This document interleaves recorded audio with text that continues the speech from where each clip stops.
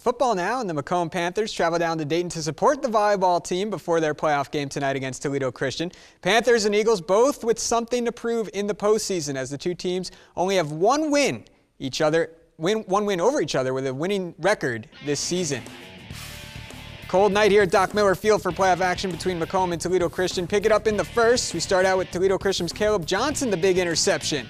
Later, McComb throws another interception this time. It's Damon St. John getting the pick six to open up the scoring.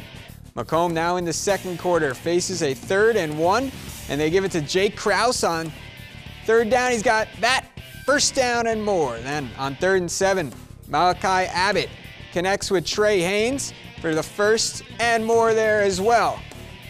Into the end zone now, Austin Davis Here's Abbott. Connects with Austin Davis. There's the touchdown for McComb. Now on defense, it's McComb's Jake Kraus. Gets into the backfield and comes up with a huge sack.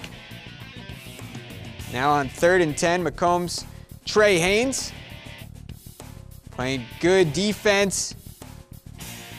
Almost comes up with the interception, but drops it. They still force it to a TC punt tied at 7. McComb wins this Week 11 matchup 28 13 over Toledo Christian.